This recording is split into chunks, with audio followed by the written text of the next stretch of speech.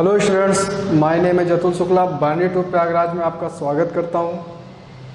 दोस्तों आज हम लोग ओ लेवल के एक exam M three R four C language के बारे में पढ़ने वाले हैं। तो पेपर जो है हमारा वो है एम थ्री आर फोर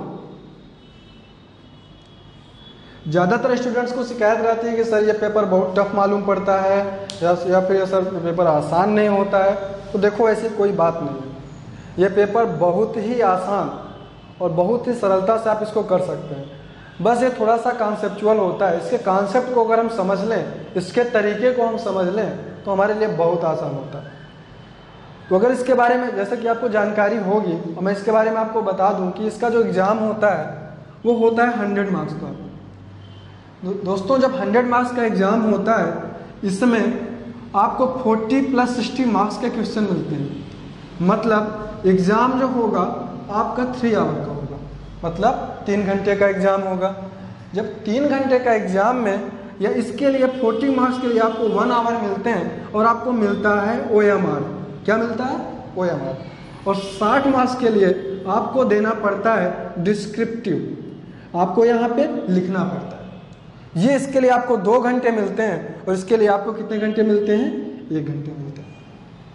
दोस्तों 40 प्लस सिक्सटी के टर्म में एग्ज़ाम होता है। यहाँ पे 40 क्वेश्चन में आपको चार टाइप के टोटल क्वेश्चन मिलते हैं। चार टाइप के क्वेश्चन में एक में टेन मार्क्स का मिलेगा आपको M C Q multiple choice question और मिलेगा आपको ट्रू एंड फॉल्स मतलब सही और गलत। और थर्ड मिलेगा आपको match the column match the column and fourth मिलेगा आपको filling the blanks fill in the blanks देखो दोस्तों, यहाँ जैसा कि हमें पता है कि 50 परसेंट मार्क्स पाना हमारे लिए दोनों साइड से कंपलसरी होता है, तभी हम पास होते मतलब हमें कम से कम 20 नंबर यहाँ से लाना है और कम से कम 30 नंबर यहाँ से लाना है, तब हमें मिलेगा डी ग्रेड क्या मिलेगा?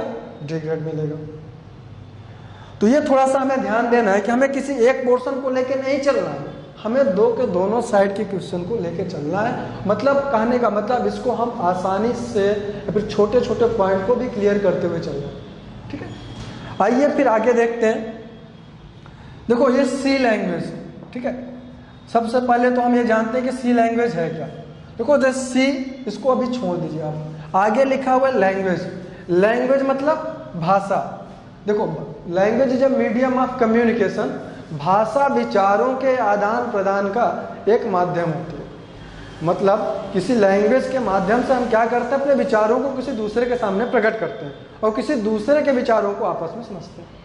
देखो, इतना तो हम लोगों को पता है कि जो देखिए ऐसी कोई लैंग्वेज नहीं है कि किसी इंसान से इस पर हम बात करें। इससे हम किस पे बात करते हैं? मशीन से बात करते हैं। और उस मशीन का नाम क्या है? कंप्यूटर मशीन का नाम क्या है दोस्तों? कंप्यूटर मतलब किसी मशीन से बात करने के लिए हम लोग इस लैंग्वेज का क्या करते हैं? यूज़ करते हैं।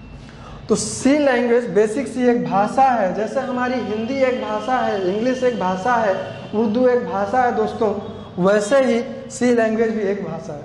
और ये कुछ नहीं है। उस भाषा से अपने विचारों को आदान प्रदान करते हैं। यहाँ पे क्या करते हैं? इस लैंग्वेज की मदद से हम अपने इंस्ट्रक्शन को, अपने निर्देश को, क्या करते हैं? कंप्यूटर तक पहुंचाते हैं। कंप्यूटर को अपनी बात समझाने के लिए हम, देखो कंप्यूटर एक मशीन है, वो हमारी बात को समझेगा नहीं, बिल्कुल नहीं समझेगा। और हम कंप्यूटर की बात को नहीं समझेंगे भाई। तो देखो, हम बोले कंप्यूटर से कि चलो भाई, ऑन हो जाओ। तो क्या वो कभी ऑन होगा? नहीं होगा। और कंप्यूटर आपको अपनी लैंग्वेज में कुछ बोलेगा? आप समझ नहीं पाओगे। तो इसी दोनों के प्रॉब्लम को सॉल्व करने के लिए ये लैंग्वेजेस बनाई गई। कंप्यूटर लैंग्वेज जिसे बोला गया। क्या बोला गया उसे? कंप्यूटर लैंग्वेजेस देखो अब इसका सबसे पहले ध्यान देते हैं कि सी लैंग्वेज क्या है?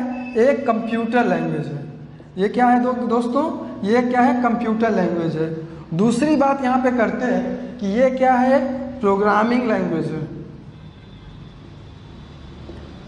एक प्रोग्रामिंग लैंग्वेज है। देखो प्रोग्रामिंग वर्ड से हमें समझ में आएगा कि यहाँ पे एक प्रोग्राम वर्ड निकल रहा है। देखो प्रोग्राम क्या होता है? प्रोग्राम और कुछ नहीं एक तयशुदा काम होता है।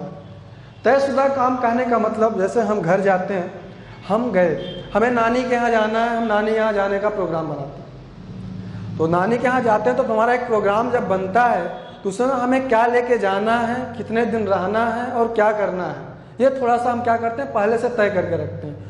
वैसे ही कंप्यूटर से अगर हमें कोई काम कराना है और उस काम को पहले से तय कर दिया जाए, उस काम को पहले से क्या कर दिया जाए, तय कर दिया जाए तो क्या बन जाता है प्रोग्राम बन जाता है।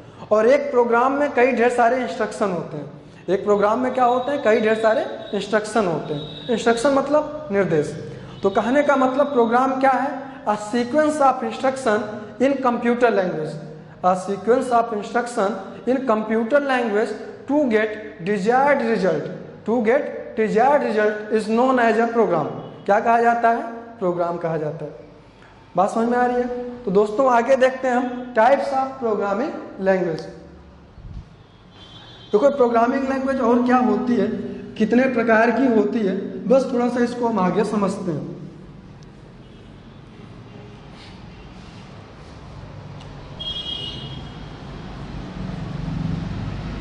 टाइप्स ऑफ़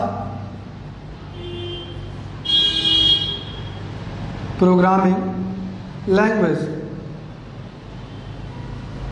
तो देखो यहाँ पे ध्यान देते इस लैंग्वेज को तीन तरीके से कैटेगराइज किया गया है। कितने तरीके से कैटेगराइज किया गया है?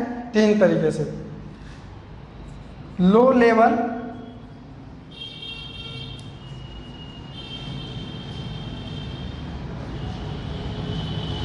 लैंग्वेज इसको और किस नाम से जाना जाता है? ट्रिपल एल नाम से जाना जाता है।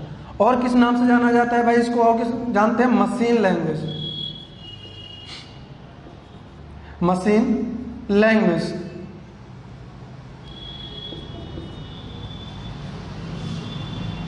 दूसरी टाइप की जो लैंग्वेज होती है, उसको बोलते हैं असेंबली लैंग्वेज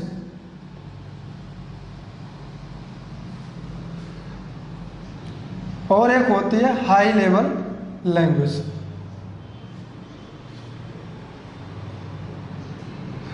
देखो, इसके नाम पे मत जाओ यहाँ पे लिखा है लो लेवल लैंग्वेज इसका केवल नाम है लो लेकिन ये क्या है? सबसे कठिन लैंग्वेज यही होती है। कहने का मतलब ये कहा, इसका नाम है लो लेवल लैंग्वेज लेकिन डिफ़िकल्ट होती है। देखो स्टार्टिंग में जब कंप्यूटर बना स्टार्टिंग में जब कंप्यूटर की फ़र्स्ट जनरेशन की हम बात करते हैं तो चार्ल्स बैबेज जी का बना, उसमें प्रोग्रामिंग जो की, जो पहली प्रोग्रामर थी, वो थी लेडी एडा अगस्ता दोस्तों, एक फैक्ट है, इसको ध्यान रखिएगा। लेडी एडा अगस्ता इन्होंने पहली बार प्रोग्राम किया। इन्होंने क्या किया? पहली प्रोग्रामर है दूसरी चीज़, इस पर एक और चीज़ ध्यान देने वाली बात है, ये फ़र्स्ट जनरेशन की लैंग्वेज है। ये कैसी लैंग्वेज है? फ़र्स्ट जनरेशन की लैंग्वेज है। पहले का जनरेशन के कंप्यूटर में क्या किया जाता था? इस लैंग्वेज का यूज़ किया जाता था। इस लैंग्वेज इस इस लैंग्वेज को कंप्यूटर डायरेक्टली अंडरस्टैंड कर सकता था। मतलब इस लैंग्वेज को कंप्यूटर डायरेक्टली अंडरस्टैंड कर सकता था। कंप्यूटर को इसकी बात सीधे समझ में आती थी। यहाँ पे केवल दो टाइप के कोड होते थे, या तो ज़ीरो, या तो वन। ज़ीरो और वन और कुछ नहीं, ये बाइनरी डिजिट है। ये क्या है? बाइनरी डिजिट है। केवल यही दो नंबर से पूरी की पूरी प्रोग्रामिंग होती थी। इस बात को हम और आगे से, अच्छे से आगे समझेंगे। लेकिन अभी के लिए बस इतना समझते हैं कि ज़ीरो एंड वन पे इस पे सारी की सारी प्रोग्रामिंग होती थी। इस ये लैंग्वेज कंप्यूटर को डायरेक्टली समझ में आती थी। अब बात करते हैं असेंबली लैंग्वेज ये कंप्यूटर ये सेकेंड जनरेशन से थर्ड जनरेशन तक ये लैंग्वेज चली। सेकेंड जनरेशन से थर्ड जनरेशन तक ये लैंग्वेज चली। असेंबली लैंग्वेज पे देखो, ये लैंग्वेज कंप्यूटर को डायरेक्ट जैसे हमें मान लेते हैं, हमें लिखना है कोई नाम। जैसे हमें लिखना है ए अब ए के लिए हमें क्या करना पड़ेगा? ए का हमें बाइनरी निकालना पड़ेगा। ए का जब हम स्काई वैल्यू निकालते हैं, देखो एक वर्ड यहाँ पे आया स्काई अधिकतर हमारे एग्ज़ाम में मल्टीपल चॉइस क्वेश्चन ये पूछ लिया जाता है। इसका दोस्तों नाम होता है American standard code for information interchange तो यहाँ पे कैपिटल ए का वैल्यू होते हैं सिक्सटी फाइव और इसका जब हम बाइनरी निकालेंगे तो zero zero zero zero one मान लेते हैं ये कोई निकल के आया। जब ये ले इसका निकल के आया तो हमें केवल ए लिखने के लिए इस, अगर मशीन लैंग्वेज ये बात लिखनी है तो हम ऐसे लिखेंगे। तो कहने का मतलब यहाँ पे चीज़ों को हमें बहुत ज़्यादा हमारे लिए डिफ़िकल्ट होता था। भाई ये लैंग्वेज ना तो आसानी से लिखी जा सकती थी, ना आसानी से समझी जा सकती थी, बहुत ही कम लोग इस लैंग्वेज को समझ सकते थे। अब बात करते हैं असेंबली लैंग्वेज की। इस लैंग्वेज की ये लैंग्वेज कठिन थी। तो इसको क्या करने के लिए भाई? आसान करने के लिए असेंबली लैंग्वेज बनाई गई।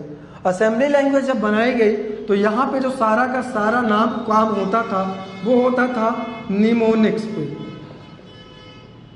तो यहाँ पे ध्यान देते हैं एम साइलेंट है। यहाँ पे क्या है? एम साइलेंट है इसको हम हमेशा पढ़ेंगे निमोनिक्स निमोनिक्स और कुछ नहीं है, किसी कोड को दिया गया एक नाम। जैसे हमें मान लेते हैं, हमने लिखा एड यक्स कामा वाई इसका मतलब हुआ यक्स प्लस वाई अगर हमें दो नंबर जोड़ना है यक्स प्लस वाई को तो हमें निमोनिक्स के फॉर्म में ऐसे लिखते हैं एड यक्स कामा वाई तो देखो दोस्तों, इसी को क्या शॉर्ट फॉर्म होता है? किसी कोड को, किसी इंस्ट्रक्शन को, किसी मतलब एक कोड में समझ लिया जाए।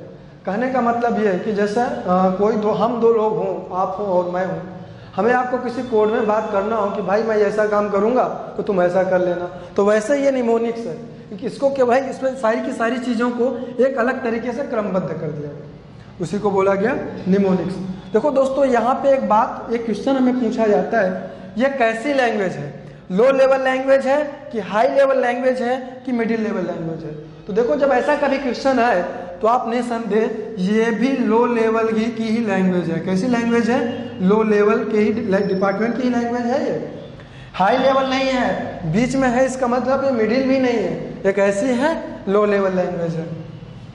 अब बात करते हैं high level language high level language मतलब इसके स्टैंडर्ड से इसके स्टैंडर्ड से इसका स्टैंडर्ड हाई था मतलब ये यूज़र को आसानी से मतलब जितने भी प्रोग्रामर थे हर किसी को ये आसानी से समझ में आ जाती थी। ये सिमिलर थी इंग्लिश लैंग्वेज की। सिमिलर थे किसके? इंग्लिश लैंग्वेज के। हाई लेवल लैंग्वेज आसानी से काम किया जा सकता था, हर लोग इसको समझ सकते थे और भी काफ़ी खासियत थे इसमें। इसको हम लोग आगे धीरे धीरे धीरे क्या होगा, चीज़ों को समझते जाएँगे। हाई लेवल लैंग्वेज जो है हाई लेवल लैंग्वेज पे पूरा का पूरा काम जैसे आज हम लोग कर रहे हैं ना, वैसे ही होता था। मतलब अगर हमें लिखना है एक्स प्लस वाई तो हम बिल्कुल लिख सकते थे एक्स प्लस वाई बात समझ में आ रही कि नहीं समझ में आ रही? तो ऐसे ही करना है हमें, ठीक है?